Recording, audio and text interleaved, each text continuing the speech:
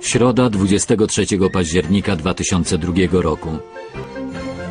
W moskiewskim teatrze komplet widzów oglądał wieczorne przedstawienie musicalu Nord-Ost.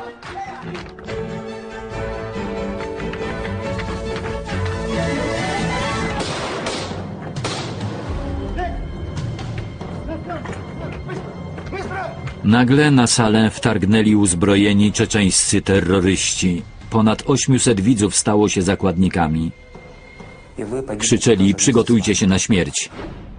Napastnicy, grożąc zdetonowaniem bomb, zażądali zakończenia wojny w Czeczenii. Zabrali ją na zewnątrz i rozstrzelali.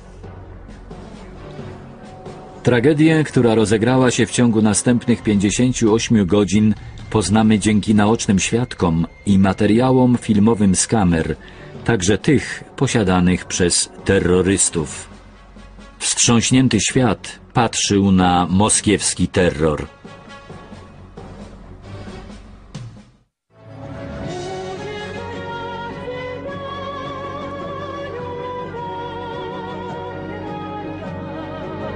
Nordost miał swoją premierę 13 października 2001 roku. Odniósł ogromny sukces jako pierwszy rosyjski musical z całkowicie rosyjską obsadą. Dorównywał najlepszym sztukom zachodnim.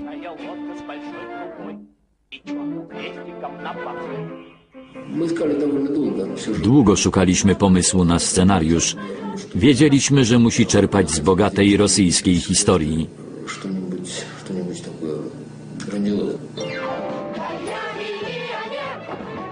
W obsadzie Nordost znalazło się wyjątkowo dużo dzieci.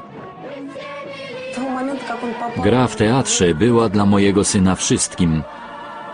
Tak samo dla innych dzieci biorących udział w przedstawieniu.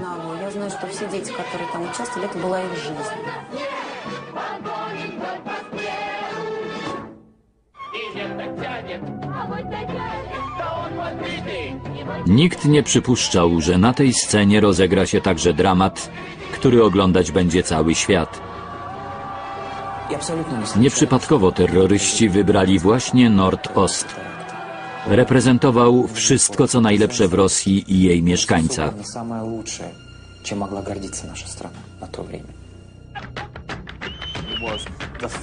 To był pierwszy rosyjski musical i otaczała go rosyjska duma narodowa. Myślę, że nie bez powodu atak zaczął się, kiedy na scenie tańczyli aktorzy w kostiumach radzieckich żołnierzy z II wojny światowej.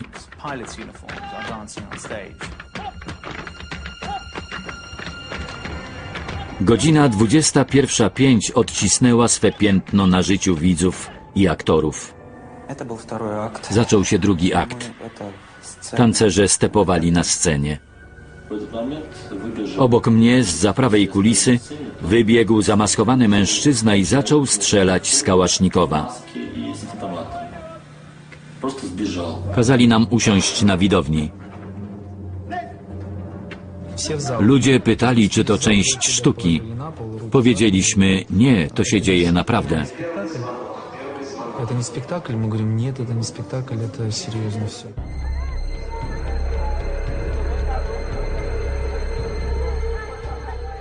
Wśród widzów były terrorystki. Nie zauważyłem, kiedy się przebrały. Założyły maski, czarne ubrania i pasy z bombami. Były doskonale przygotowane.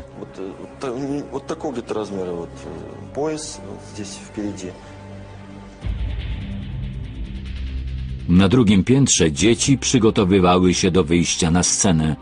Tam również dotarli terroryści.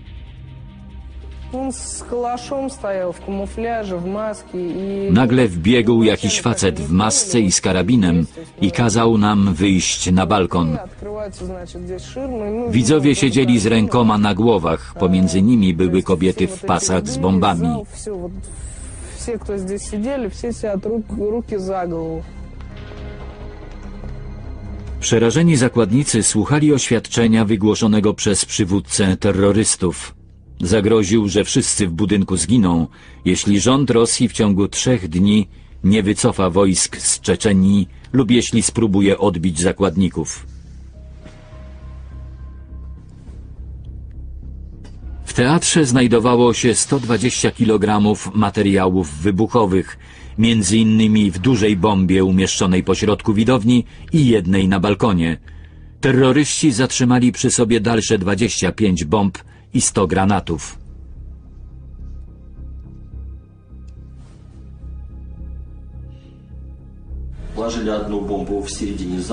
Postawili wielką bombę na środku teatru i drugą na balkonie.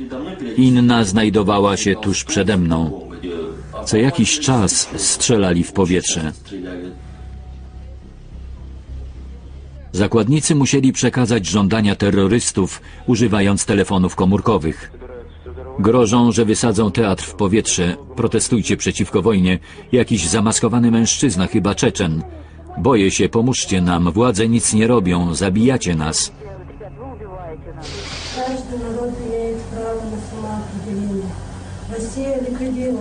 Przed atakiem terroryści nagrali kasetę wideo, na której przedstawili swoje motywy. Każdy naród ma prawo stanowić o sobie. Rosja odebrała Czeczenom to prawo. Długo czekaliśmy na sprzeciw świata wobec śmierci niewinnych. Giną kobiety, dzieci i chorzy.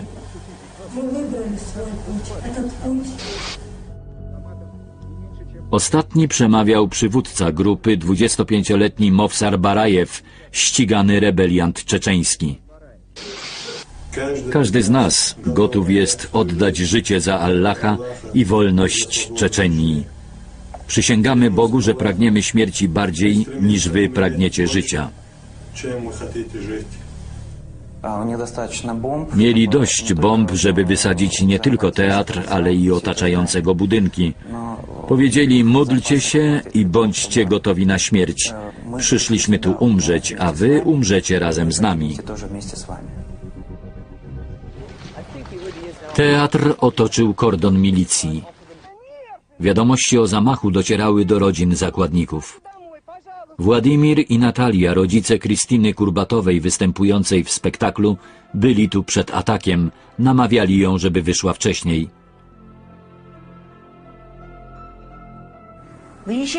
Powiedziała, że ma jeszcze jedno przedstawienie i żebyśmy przyszli później. Pocałowałam ją i powiedziałam, że będziemy za godzinę. Мы сейчас папу Kiedy поедем, przyszliśmy, перекусим. teatr otaczali milicjanci. Что мы сделали? Но приехали через час, а там уже было все оцеплено. Нас остановила милиция, куда вы? Zatrzymali nas. Говорю, У нас там ребенок. Нас тут как Mówiliśmy, że w środku jest nasza córka. туда нельзя, развернули и так вот. Идите, идите. Nikogo nie wpuszczali. Odepchnęli nas z powrotem na ulicę. Еще дальше, еще дальше, еще дальше. Wieść o zamachu szybko obiegła Moskwę. O 22 zaczęli dzwonić znajomi, pytając, gdzie są mój mąż i syn. Wpadłam w panikę. Mąż Iriny, Borys Rosenwasser, poszedł do teatru po syna Witalija. Nie udało mu się już dostać do budynku. Остановила его. Ну, От неожиданности просто остановил. То, что мне пришлось пережить, находясь Nigdy tak się nie bałem o syna jak wtedy. Nie wiedzieliśmy, czy ktokolwiek w środku jeszcze żyje. Что вообще происходит там? Живы ли дети, живы ли люди?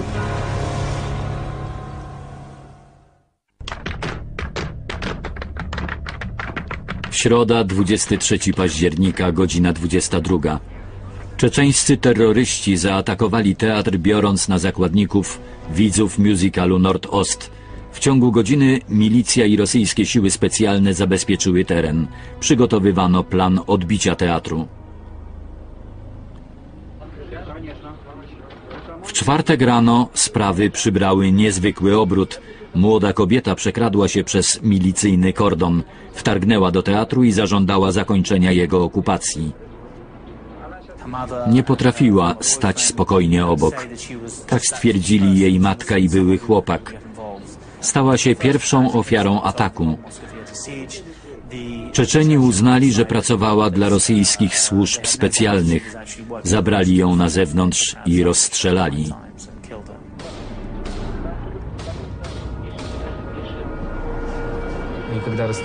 Zrobili to pod drzwiami, tuż obok mnie. Nie umarła od razu. Słyszałem jej jęki. Rano Barajew zażądał pomocy dwóch lekarzy dla jednego z jego rannych ludzi. Następnie kazał im zabrać ciało zamordowanej kobiety.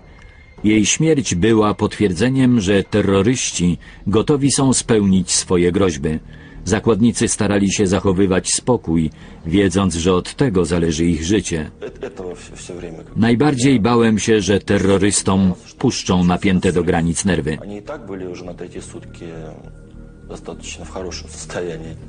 Никто не показывает Żadne nagranie nie odda naszego przerażenia, ужас. nie pokaże strachu w naszych Не oczach. покажет, как вот все внутри сжималось от того, что Tego, co czuliśmy, kiedy zawiesili na scenie płachtę z arabskimi napisami i zaczęli wykrzykiwać Allah Akbar. это, это жутко. И, естественно, перед Przypomniałem глазами sobie filmy z egzekucji rosyjskich żołnierzy w Czeczenii. где вот этих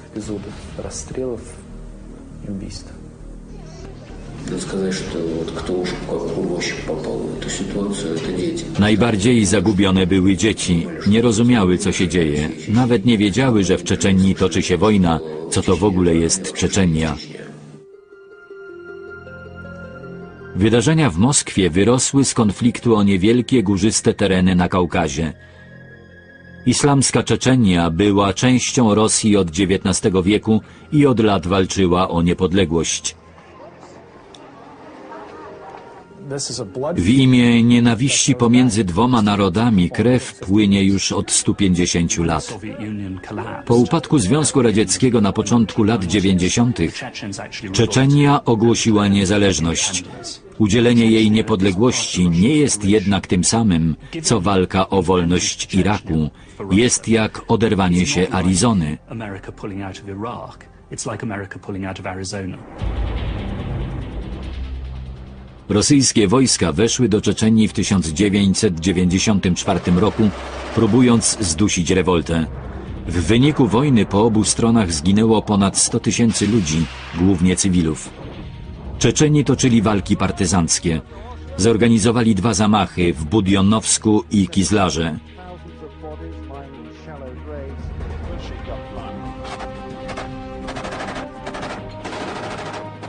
Rosjanie zbombardowali miasto, choć wciąż znajdowali się tam zakładnicy. W kwietniu 1996 roku obydwa narody wyczerpane długotrwałą wojną zawarły traktat pokojowy nadający Czeczenii autonomię. Kraj znajdował się w ruinie.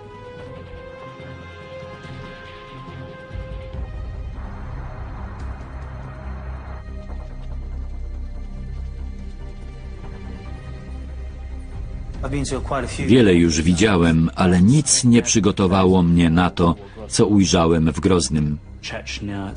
Czeczenia stała się niebezpieczna i niestabilna. Mnożyły się porwania. Młoda republika utonęła w morzu bezprawia. Kiedy czeczeńscy radykaliści islamscy zaatakowali sąsiadujące z Czeczenią regiony, chcąc stworzyć islamską republikę, wojna wybuchła na nowo ze zdwojoną brutalnością.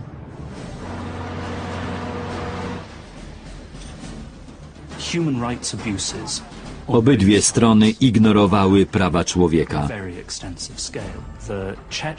Czeczeni więzili Rosjan, torturowali ich i zabijali. Rosyjscy żołnierze robili to samo z Czeczenami. against Chechen prisoners by the Russian forces.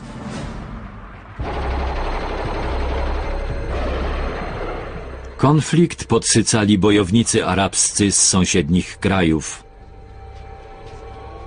W withdrew 1996 roku po wycofaniu się Rosjan z Czeczenii na jej terytorium pojawiło się wielu islamskich ekstremistów wspieranych przez zewnętrzne organizacje terrorystyczne takie jak Al-Kaida.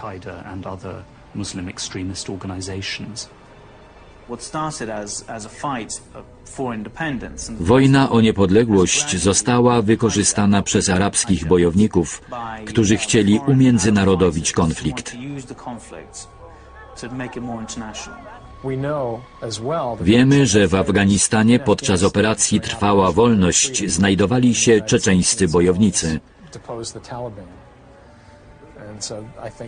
Uważam, że kontakty pomiędzy nimi a arabskim terroryzmem powinny być przedmiotem szczególnej uwagi tak Stanów Zjednoczonych, jak i Rosji.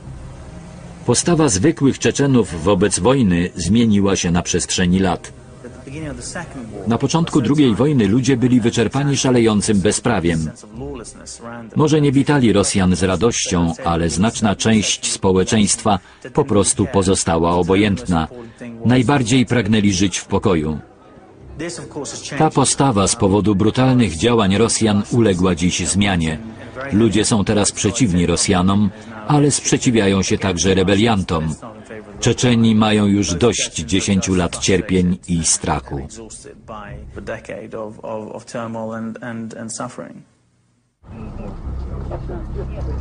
W październiku 2002 roku wojna czeczeńska przeniosła się do Moskwy. Współpracownicy prezydenta Putina i FSB, Federalne Biuro Bezpieczeństwa, pracowali pośpiesznie nad planem działania. Elitarna jednostka Alfa ćwiczyła szturm na teatr w identycznym budynku położonym w pobliżu. Na miejscu wydarzeń był korespondent London Sunday Times Mark Francetti. Rosjanie byli gotowi na wszystko, ponieważ nie mieli żadnych wieści ze środka. Nie było komunikacji z Czeczenami. Bano się, że jeśli Rosjanie zadzwonią, dowiedzą się, że Barajew śpi, modli się albo je. Nie było wiadomo, jak negocjować. Sytuacja stawała się coraz cięższa. Barajew, przywódca terrorystów, ogłosił, że jeśli do siódmej rano w sobotę Rosjanie nie zaczną wycofywać się z Czeczenii, będzie rozstrzeliwać zakładników. Termin ultimatum upływał za mniej niż 48 godzin. Paraliżował mnie strach przed śmiercią. Czekanie było nie do zniesienia. Siedziałem z głową opartą na rękach i próbowałem zrozumieć, że niedługo umrę.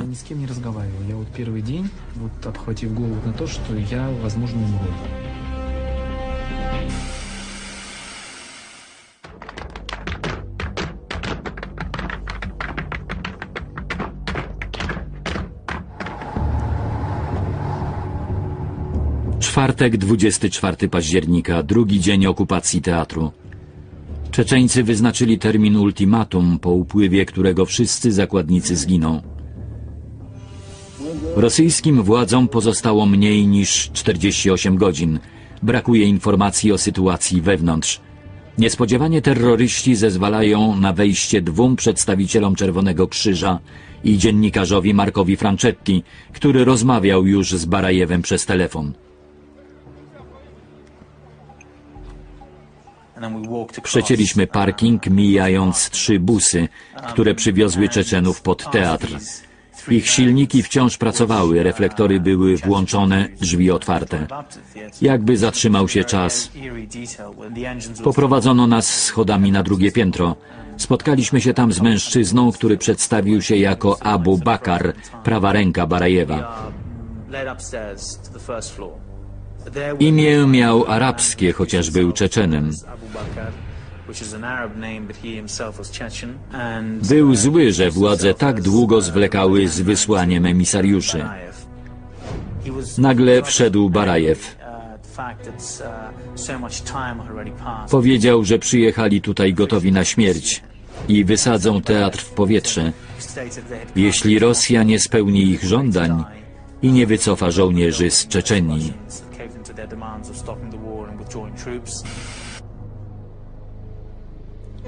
Dziennikarzowi pokazano również terrorystki samobójczynie.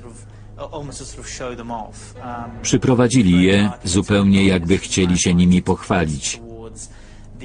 Było ciemno, w świetle latarki pokazywano mi ich pasy, zawierające od 3 do 5 kg materiałów wybuchowych oraz kulki od łożysk. Kobiety trzymały w jednej dłoni pistolety, w drugiej detonatory. Czuwały na zmianę, gotowe na rozkaz wysadzić teatr w powietrze. Twarze kobiet zasłaniały chusty z arabskimi napisami. Ich ubiór nie był czeczeński. Kobiety w Czeczenii rzeczywiście noszą chusty, ale nie czarne i nie ukrywają twarzy. Nie są Arabkami, są Czeczenkami. Mówią po czeczeńsku i po rosyjsku, nie po arabsku. Cała ta prezentacja i wywieszona na scenie płachta z arabskimi napisami, których większość Czeczenów nie umiałaby przeczytać, sposób ubierania się i pasy z bombami jak w Palestynie, wskazywały, że w konflikt w Czeczenii zamieszani są Arabowie. to uh, an Arabization of the Chechen. Kobiety nazywano czarnymi wdowami, ponieważ niemal wszystkie straciły swoje rodziny w wojnie czeczeńskiej. Obok nas siedziała Swieta. Miała może 16 lat. Spytaliśmy ją, nie boicie się śmierci? Nie macie bliskich, którzy będą was opłakiwać? Odpowiedziała, mamy ale lepiej umrzeć tutaj z wami niż tam w Czeczenii bez celu. Tam nikt nie zauważy naszej śmierci. Остались родные, которые- Mówiła to ze łzami w oczach. Zrozumieliśmy, że to nie był dla niej łatwy wybór. Były zwykłymi ludźmi, takimi jak my. Мы простые, Pytaliśmy, czym my, przeciętni Rosjanie, zawiniliśmy, że musimy umrzeć. Odparła, że to my sami wybraliśmy sobie taki rząd. Сказали, это ваше правительство, вы его выбирали. Plan odbicia zakładników wciąż był dopracowywany. Tymczasem negocjatorzy przekonywali Barajewa, żeby wypuścił dzieci. Odmówił, chociaż sam był ojcem dwójki. Jedno miało rok, a drugie trzy lata. Dzieci również brały udział w próbach ich uwolnienia po tym, jak zakładnikom rozdano telefony. Do Wiktorii zadzwonił jej syn Arsenij. Powtarzał ciągle, mamo, nie pozwól im zaatakować teatru. Powiedział, że terroryści zgodzili się wypuścić dzieci, jeśli zorganizujemy demonstrację przeciwko wojnie. Zrobiliśmy to, ale naszego protestu nie pokazała żadna duża stacja telewizyjna.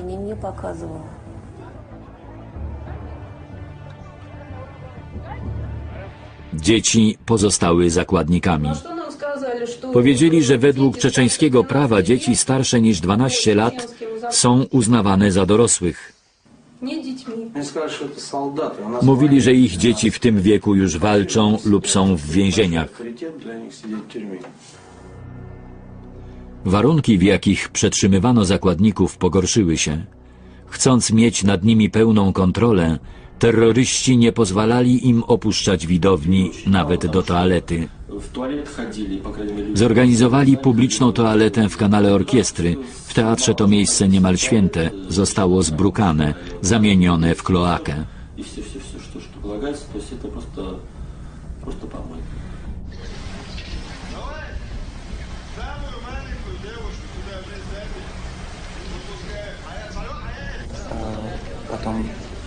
Bez przerwy krzyczeli. Nie używali radia, bo bali się podsłuchu. Dlatego porozumiewali się krzykiem. Nie mogliśmy spać.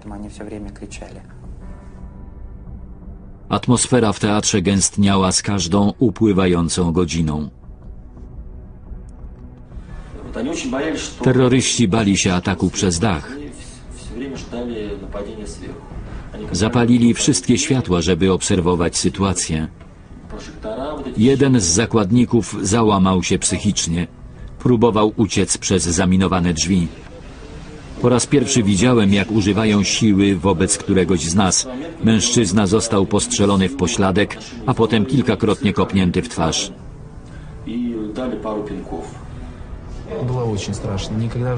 Nigdy w życiu tak się nie bałem. Wykonywałem automatycznie każdy ich rozkaz. Kazali iść, szedłem. Kazali siadać, siadałem. все, все, вот все сознание пройти, пройду. Прошел. Сесть, сесть, хорошо, сяду. На третий день, W pewnym momencie przestałem się przejmować tym, co będzie dalej. были готовы, Byliśmy bardzo zmęczeni. Jeśli mają szturmować teatr, niech to robią. Jeśli zginiemy, to byle szybko i bezboleśnie. Miałem już dosyć bezczynnego oczekiwania.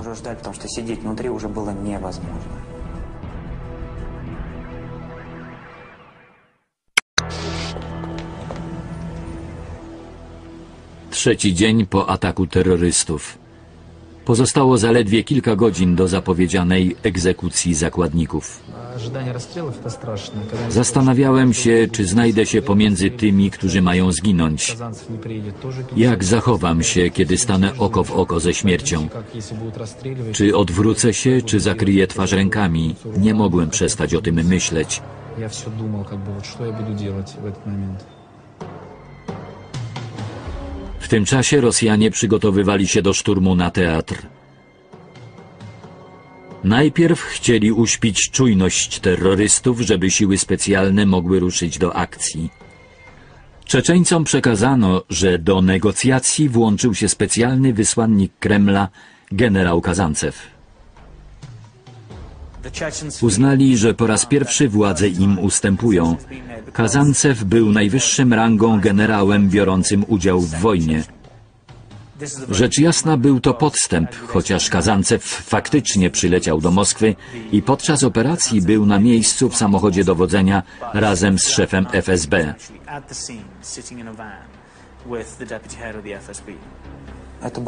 Barajew wyszedł na scenę i ogłosił Mam dobre wieści. O 10 rano rozpoczniemy negocjacje z generałem Kazancewem. Poczuliśmy ulgę, ale potem Barajew powiedział, że jeśli generał nie pojawi się do 10, zaczną realizować plan B. Dziesięciu zakładnikom odetną głowy i wyrzucą je na zewnątrz, żeby zmusić władzę do szybszego działania э, Действием, быстрым решением нашего правительства. W teatrze rozpoczęło się pełne przerażenia oczekiwanie. Na zewnątrz siły specjalne szykowały się do szturmu. O piątej rano zastosowano niesprawdzone nigdy wcześniej środki. Na widownię wpuszczono fentanyl, silny gaz usypiający, który w kilka minut unieszkodliwił terrorystów.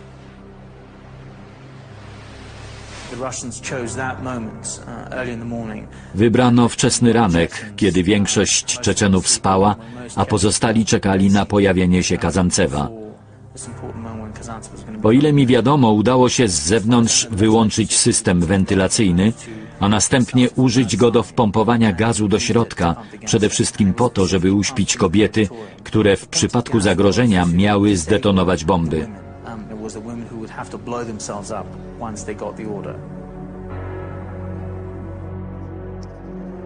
Nie każdy spośród ludzi w budynku uległ usypiającemu działaniu gazu. Zapanował chaos. Terroryści zaczęli biegać i krzyczeć. Kobiety sięgnęły po detonatory na ich pasach. Mężczyźni założyli maski przeciwgazowe i zajęli pozycje obronne w korytarzach, oczekując na elitarne rosyjskie jednostki z grupy Alfa. Kobiety nie dostały masek i pozostały na widowni pilnując zakładników. Rosjanie odczekali 30 minut, aż gaz zacznie działać. W każdej chwili obawiano się eksplozji. Nagle z budynku wyszło kilku zakładników, których nie uśpił gaz. O 5.30 rano komandosi przypuścili szturm.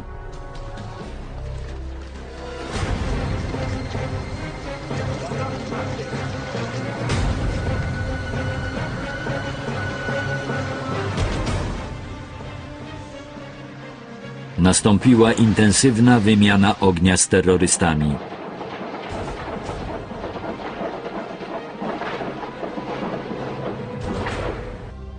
Nieprzytomnych zakładników szybko ewakuowano z teatru.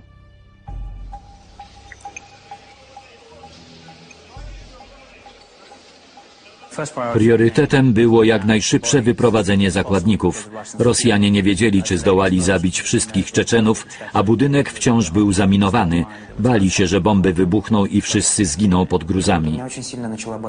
Zostałem aresztowany przez agentów FSB, ponieważ miałem na sobie mundur żołnierski i nie wyglądałem na Rosjanina. Myśleli, że mogę być Czeczenem.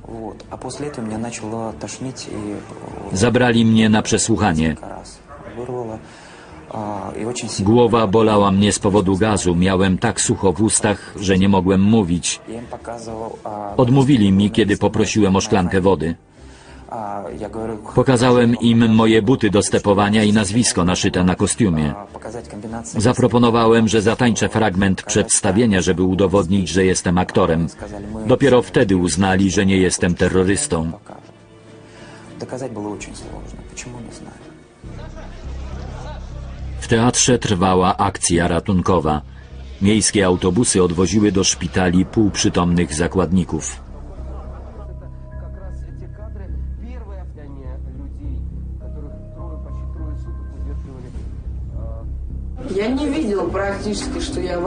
Przegapiłem szturm, obudziłem się półprzytomny w autobusie.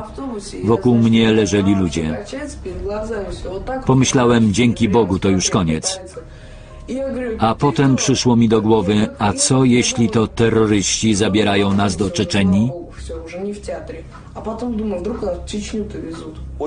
Okropnie chciało mi się spać, ale nie pozwolono mi na to.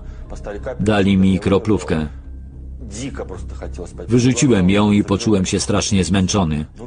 Oczy mi się zamykały, ale lekarz wciąż mnie budził. Bali się, że jeśli zaśniemy, udusimy się własnymi wymiocinami. Czuliśmy się jak na torturach. Setki członków rodzin zakładników oczekiwały pod szpitalami. Nikogo nie wpuszczano. Musieliśmy dowiedzieć się, kto do którego szpitala trafił. Szpitale nie miały jeszcze list nazwisk. Wciąż szukaliśmy ludzi i nic nie było wiadomo Очень ты там, не ты там. И начинаешь уже паниковать, где, что. То мы этого не Dzwoniliśmy do знали. znajomych. Мы стали созваниваться, мне сказали, Dowiedzieliśmy что się, там że użyto человек. jakiegoś gazu. Через несколько часов Czekaliśmy do czternastej. мы ждали. Nigdzie nie mogliśmy znaleźć naszego syna. Ни в одной больнице моего сына не было. Мы сели в машину, Dowiedzieliśmy się, do którego szpitala trafiła Kristina. Trzech młodych mężczyzn w cywilnych ubraniach zapytało nas, kim jesteśmy. Kazali nam opisać, w co Krystyna była ubrana. W końcu powiedzieli, że mają dziewczynę odpowiadającą opisowi, ale jest w kostnicy. Tak się dowiedzieliśmy, że jest w kostnicy.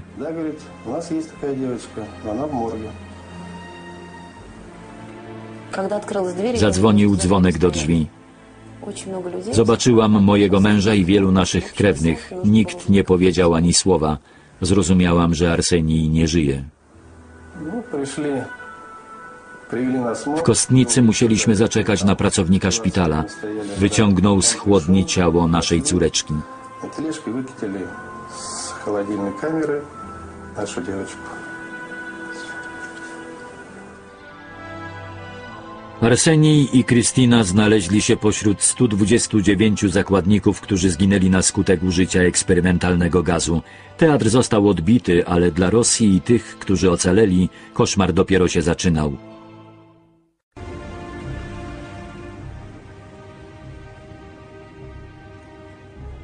Śmierć 129 zakładników z powodu użycia gazu usypiającego wstrząsnęła światem. Jak to się stało, że doskonale zapowiadająca się akcja ratunkowa skończyła się taką tragedią? Najmocniej krytykowano fakt, że lekarzom walczącym o życie ofiar nie przekazano informacji, że użyty został gaz usypiający. Ratownicy nie wiedzieli, jak ocucić ofiary gazu. Każdy, kto musiał poddać się operacji, wie, że ludzie mają różną odporność na środki znieczulające. Dawka przeznaczona dla młodego, zdrowego mężczyzny starca zabije. Wydaje się jednak, że Rosjanie zdawali sobie sprawę, że tak czy inaczej część zakładników zginie.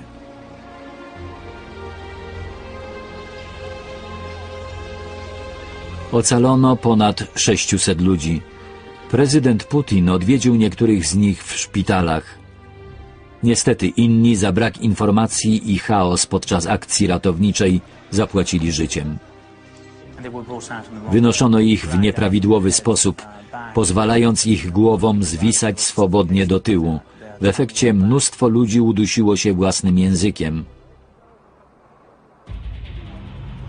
Pojawiły się również problemy organizacyjne. Od teatru tymczasowy sztab operacji odgradzały ciężarówki wypełnione piaskiem zabezpieczające go przed wybuchem. Nikt nie miał kluczyków od ich stacyjek, na miejscu nie było też kierowców. Zablokowały drogi dostępu. Do transportu uwolnionych zakładników trzeba było użyć autobusów. Ich kierowcy nie znali dróg do szpitali, więc ofiary docierały tam z wielogodzinnym opóźnieniem. Choć szturm na teatr uznano za jedną z najlepiej przeprowadzonych operacji ratunkowych, ofiar mogło być znacznie więcej. Z wojskowego punktu widzenia szturm z użyciem gazu był genialnym pomysłem. Budynek był zaminowany, w środku znajdowało się ponad 40 uzbrojonych Czeczenów. Zabito wszystkich terrorystów, nie tracąc ani jednego żołnierza. Niestety zginęło także 129 zakładników, których śmierci w większości można było uniknąć. Tajemnicą pozostanie na zawsze fakt, dlaczego terroryści nie spełnili swoich gruźb i nie wysadzili budynku. Kobiety nie zdetonowałyby bomb bez rozkazu. Wydać go mógł tylko Barajew, ewentualnie Abu Bakar, jego zastępca. Czeczenki wiedziały, że na widownię wtłaczany jest gaz. Musimy jednak pamiętać, że gaz był bardzo silny. W ciągu paru minut wszyscy stracili przytomność. Ponieważ założyli maski, musieli zapewne uznać, że jest to gaz łzawiący. Czekali na rozkaz. Nie mieli czasu zorientować się, co się naprawdę dzieje. Nie myśleli o wysadzaniu budynku, tylko o czekającej ich walce na śmierć i życie. By no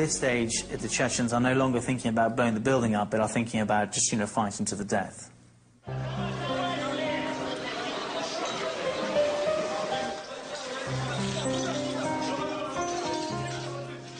Wiele pytań wciąż pozostaje bez odpowiedzi. У нас до сих пор не стоит... Na świadectwie zgonu Arsenija nie ma wpisanej przyczyny śmierci. Jest adnotacja nie ustalono. Все прекрасно знаем, от чего погибли наши дети, родные и близкие. Они погибли от этого газа. Нет, значит, официальная бумага... Lekarz sądowy stwierdził, że nasze dziecko, tak jak inni zakładnicy, zmarło z powodu braku ruchu, jedzenia, wody i złych warunków życiowych. там, стрессовое состояние и какие-то там бронхит, там еще что-то, у кого что, короче. Это время с Кристиной на больничном... Pierwszy raz usłyszałam, że moja córka chorowała. Нигде. На, то есть медицинская... Była absolutnie zdrowa, skakała, biegała, a teraz powiedzieli nam, że była chora. место занимала по бегу. И вдруг она, оказывается, была у меня больна. Bardzo chcę wierzyć, że mój syn po prostu zasnął i nie cierpiał. Nie czuł żadnego bólu.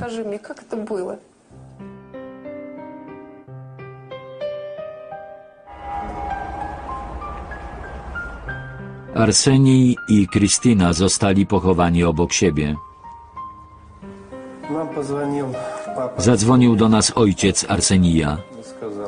и сказал, что Powiedział, że ponieważ on i Krystyna byli tak bliskimi przyjaciółmi i razem występowali w musicalu, powinniśmy pochować ich obok siebie. Кристина, Oczywiście zgodziliśmy się. если вы не против, давайте наших детей хороним вместе рядом. Мы, конечно, сказали, да, мы не против. Я-то как раз узнала, что... Latem zrozumiałam, że Arsenij czuje coś więcej do Krystyny niż tylko przyjaźń. Któregoś dnia powiedział, mamo, mam prezent dla Krystyny, zobacz. I pokazał mi kolczyki, które jej kupił. Bardzo chciał jej je wręczyć, ale bał się, że odkryje w ten sposób swoje uczucia.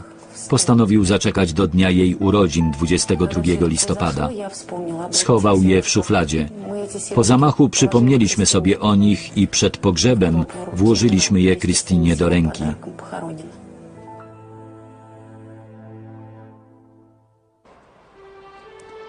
Moskwa powoli otrząsała się po tragedii. Musical Nord-Ost powrócił na scenę w lutym 2003 roku w akcie sprzeciwu wobec terroryzmu. Oczywiście, że chcieliśmy znów grać. Moim zdaniem sztuka zawsze powinna trzymać się z daleka od okropieństw wojny. Żołnierze powinni walczyć z innymi żołnierzami, a nie z dziećmi. To straszne, że uzbrojeni bandyci biorą dzieci za zakładników. Przedstawienie musi trwać, musi wyrażać sprzeciw wobec tego wszystkiego. Spektakl stał się symbolem tego, przez co przeszliśmy. Dowodem, że razem jesteśmy silniejsi. Trudno wyjść znów na scenę, ale musimy to zrobić. Przetrwaliśmy, musimy grać dla tych, którzy zginęli.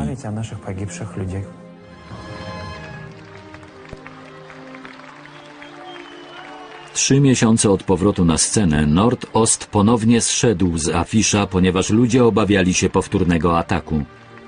Teatr stoi pusty.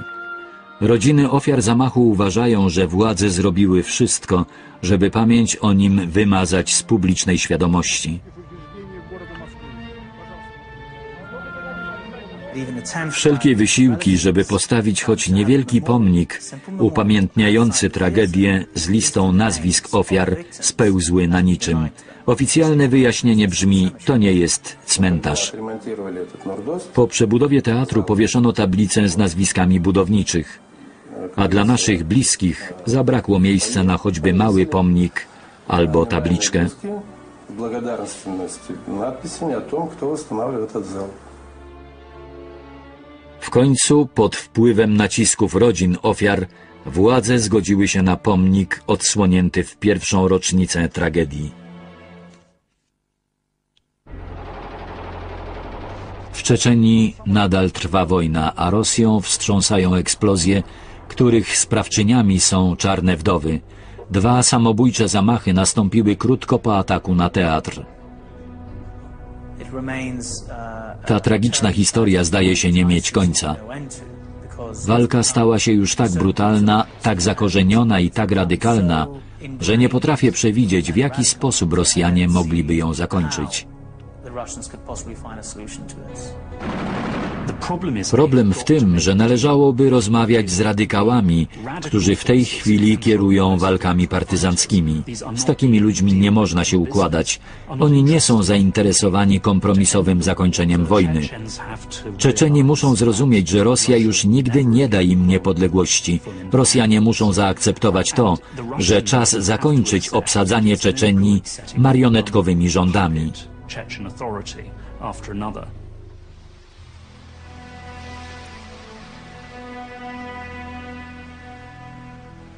Czas płynie.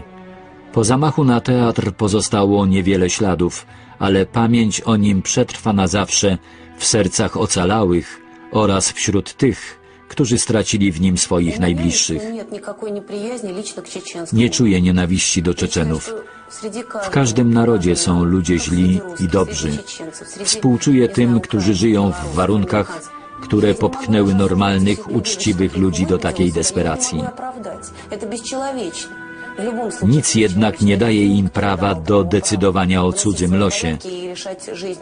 Człowiek musi zachować swoje człowieczeństwo bez względu na okoliczności. до конца. Они поставлены в такие условия. Другое дело, что в любых условиях надо оставаться человеком. Nord-Ost zamknął kolejny rozdział tragicznej historii czeczeńsko-rosyjskiej.